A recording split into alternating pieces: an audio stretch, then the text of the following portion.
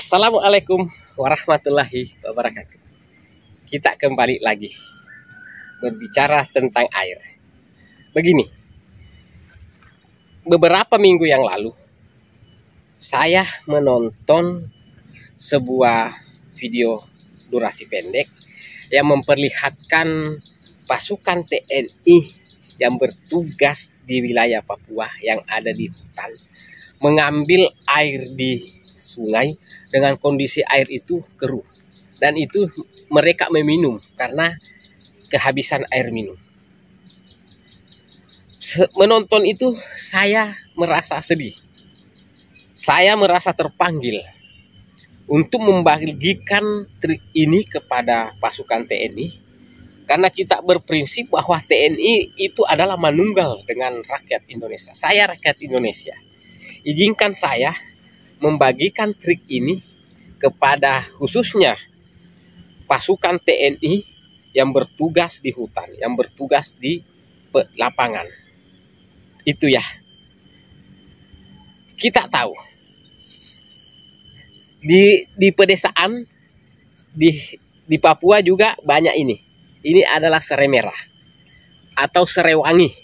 Kenapa? Karena batangnya merah, sudah itu e, daunnya wangi ya. Wangi berbau minyak gosok. Ini banyak ditanam di Papua. Banyak ditanam di Sulawesi banyak ditanam di Jawa banyak ditanam di Sumatera. Untuk dijadikan sebagai minyak urut. Tapi tenang dari hasil riset saya dari hasil bu yang saya bukukan dan sudah menyebar bukunya di Nusantara memberikan trik ini kepada pasukan TNI yang bertugas di lapangan atau di hutan atau di Papua. Serai ini bisa kita bawa walaupun dalam bentuk kering. Misalnya ini kita potong ya. Ini kita potong, ini ini sudah itu kita potong lagi. Oke. Ini kita potong. Nah, sekitar mau dua potong kita buang daunnya ya ini daunnya kita buang ya kalau untuk ini. Nah setelah kita potong-potong artinya kita potong air tadi yang diambil di sungai. Khawatir ada mikroorganismenya atau khawatir ada kimianya berbahaya maka sebelum kita minum kita masukkan serai merah ini serai merah ini ya. Ini kita cuci dulu. Itu setelah kita cuci kita masukkan. Oke, kita masukkan ke dalam air. Tutup. Biarkan sampai 10 menit. Kalau ada matahari, silahkan dijemur dulu. Sebenarnya tidak boleh menggunakan plastik yang berulang. Tapi ini karena situasi darurat di lapangan, apa boleh buat? Itu ya. Lebih bagus sebenarnya menggunakan kaca. Tapi karena situasi darurat di lapangan tidak jadi masalah. Setelah kita jemur 5 sampai 10 menit berarti mikroorganisme yang patogen itu sudah berkurang, mengurangi ya. Kimia berbahaya sudah diserap sama serai. Dan apa fungsinya selain itu?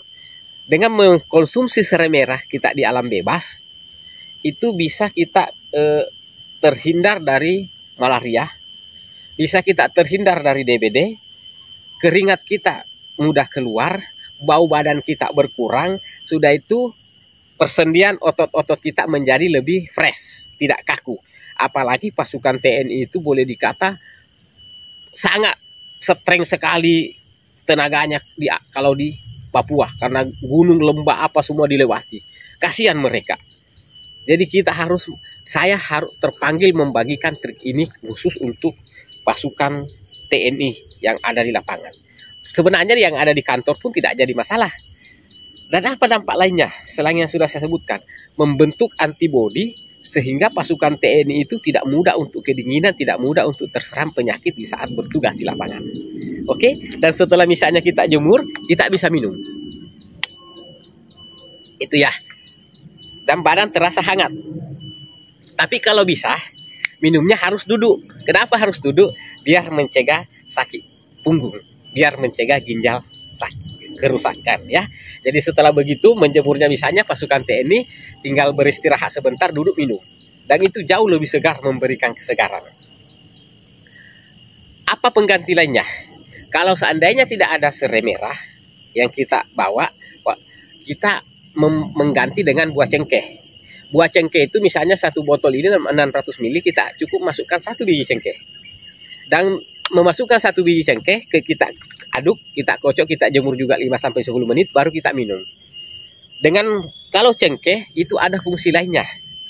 Memperkuat tulang karena cengkeh itu salah satu keunggulannya adalah memperkuat tulang atau mencegah osteoporosis dan mencegah sakit gigi. Apalagi misalnya pasukan TNI itu di yang bertugas di lapangan, apalagi menghadapi musuh, jangan, jangankan mau makan, mungkin sikat gigi aja tidak sempat, tapi mungkin sempat minum.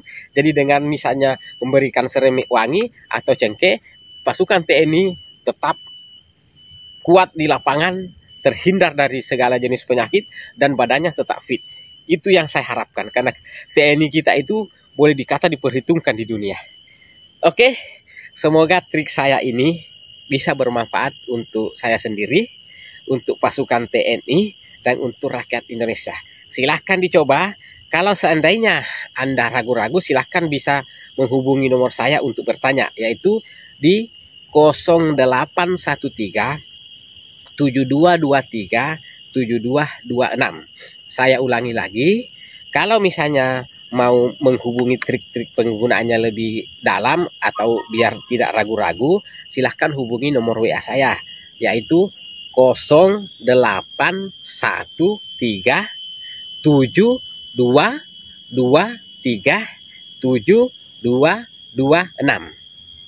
Oke, terima kasih.